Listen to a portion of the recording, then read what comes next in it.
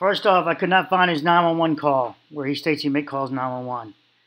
Um, I don't like the convenience of his story matching my story. I just don't like the, the you know, I know I'm, I like to think of myself as badass and everything else, but his story aligns perfectly with my story, and I, I don't. Usually, I have some defect in my story that I'm like, ah, yeah, that I have to match it, add it in. This my story of the cars collapsing first, and moving over. It, it, it's it's this this video is posted July 14th. Here we go. I got more data to share. As soon as she goes out to the front, his mother. I, I hear this not like loud rumble, like you feel like the earthquake is happening right in front of you. He says he feels like he's on. This is the one one one room one eleven, I believe. Earthquake's right in front of you. Car's right there. I'm on the phone 911. Like I see. So they're asking questions and they're not letting us hear the questions being asked. They just have them spontaneously just giving up data like this. So this is, you know, it's it's weird when they, I don't get the background questioning back and forth. It's not a true interview, is it? It's an edited edited statement interview. I see cars going inwards underneath the building. All right, this, this lines with my story. Cars going like inwards underneath the building, which underneath the building is the car garage, and the pool next to the pool area. Just see like everything just sunk down. Remember, he's calling from 111. So this, I'd like to be all excited for myself and say, look, guys, I call this 100%. But it's just, the guy, deli- his delivery is killing me here. I said I can find anybody in a lie. Here's, I would need to talk to him further. I just don't like how convenient it is lining up with my story. He does a slight wink, that's okay in this case. Um, but his story is late. It's July 14th. I don't have the 911 call. They didn't do an overlay of his 911 call. It would be nice if you guys can find it. I just don't like the convenience of it, so I'm I I don't like it.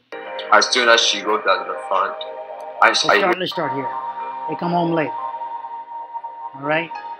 She goes to the front lobby because she hears loud noises.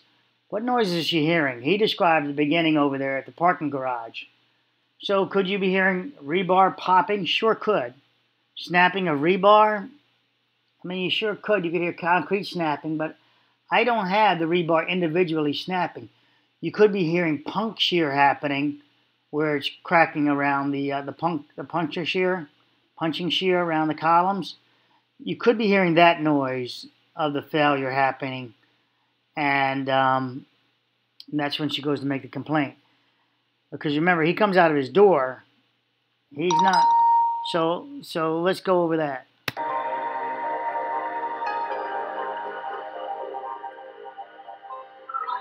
As soon as she goes down to the front. That's his mother, I believe. I, I hear this not like loud rumble. Like you feel like the earthquake is happening right in front of you. So you feel like the earthquake is happening right in front of you. All right. He could be getting his, his earthquake action mixed up with with news events and things like that. Because it's July 14th when he's reporting this now, per the news, which is only yesterday. July 15th right now, just so you guys know. So he, it could be, you know, part of his story is now mixed up with what he's gathered from, from the news events. But let's go. He supports that he sees this collapsing first and then the deck and then they does they cut him off. They don't say what he does next about running, which way he runs or anything else. That's what I find so pissing off about it. Pissing off about it. I'm on the phone 911. Like I see cars going like inwards it's underneath the building, which underneath the building is the car garage. And so he that's the only place. It's right there. The only place where you see the cars going in, he sees it. And the pool next to the pool area just see like everything just sunk down, like below, yeah. underneath. Then he sees the. Then I hear car alarms going off. I see lights flashing everywhere, and I remember telling 911, "I can't explain any, anything right now. You guys have to come here ASAP." So he sees that happen, which makes kind of sense on this part. Remember, there were some minutes that went by, I believe, when the deck collapsed and a person photographed it from outside. So they get to skedaddle out of there. And what he last observes is what we, I talk about, where he sees the cars go under first, then the decking, upon shearing, he sees it in that order. They skedaddle, and then within minutes later, minutes later, the building collapsed. He's not present at that time, obviously, but they don't. We don't hear the questions and taking it up, taking us up beyond that. We hear about his PTSD of it all.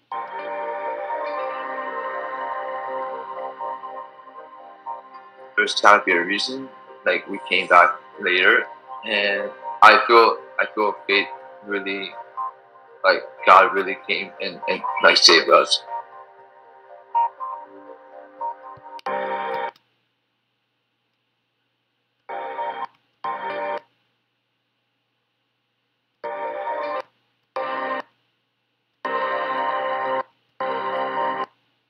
That's the collapse of the building out the demolitions. So they're taking some uh, liberties there, aren't they? This CBS, uh, whatever it is. But all right, so so there's my. I'm not happy.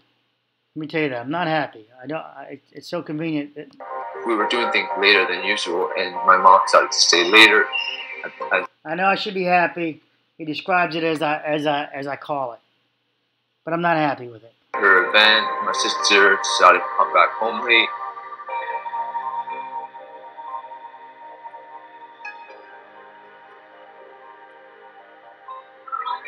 as soon as she goes down to the front, I, I hear this not like loud rumble. Like you feel like the earthquake is happening right in front of you.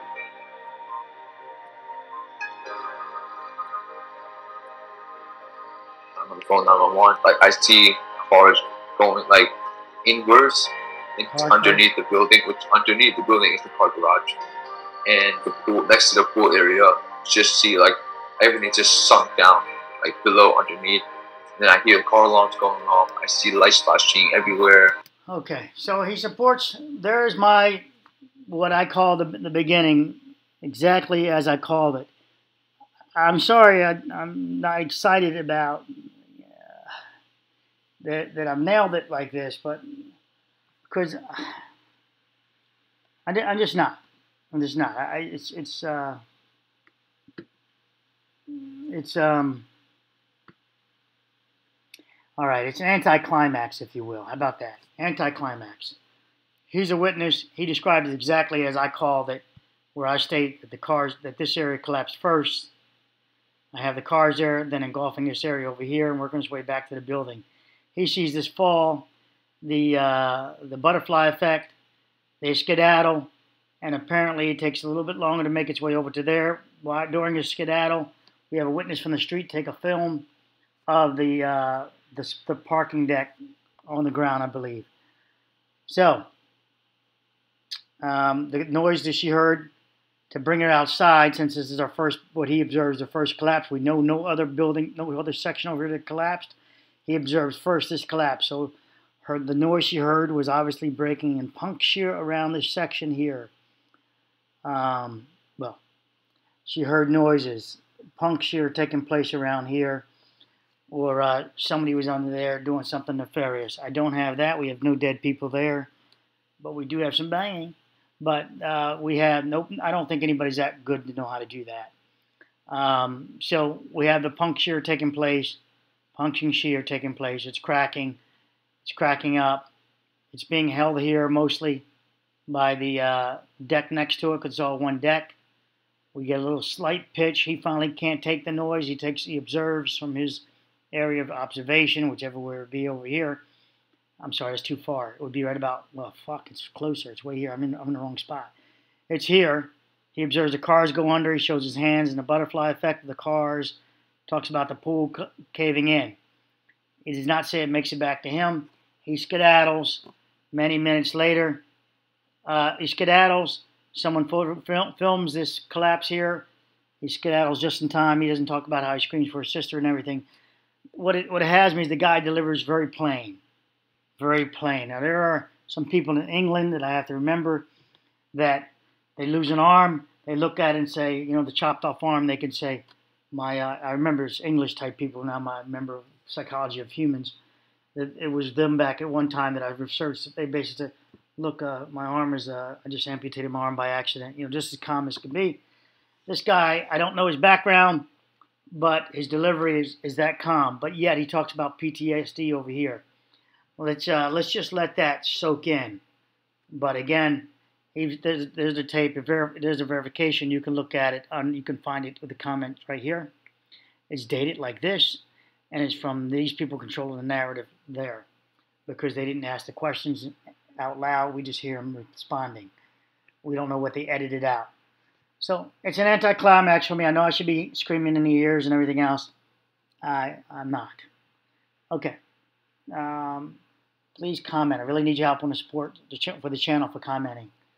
Thank you. And again, I don't want my I don't want my lack of enthusiasm in this video to to uh, to, to persuade you to also have lack of enthusiasm. It's just the way I'm built. I need to, even though he's my verification, I still would like one more verification, which is uh, because it's delivery, and and that's my bias. That is my bias. He clearly is describing what I described. But I, in my bias, I want one more. I want more verification besides myself. I've already give, given my story of how I predict it happened. It matches up perfectly with his story. This section here, the failure section being first here and there, just just weird about the convenience of it for me. Um, and yet, I have to. This this is me. I have to accept that this is exactly that I did. I evaluated this correctly based on his statement. But I would like another party to verify it, including a video. Um, and again, you guys can give me you know a lot of love if you want to. If you think that I should just chill out and enjoy the enjoy the uh, enjoy my evaluation that I nailed it. I appreciate your comments to that if you think I nailed it. And if you, I nailed it. If let me put it this way, I nailed it 100%. If he's if he's telling the story truthfully, it's 100% nailed, done. That'll start at the start position. So let me put it that way. Take care. Love you all. Bye.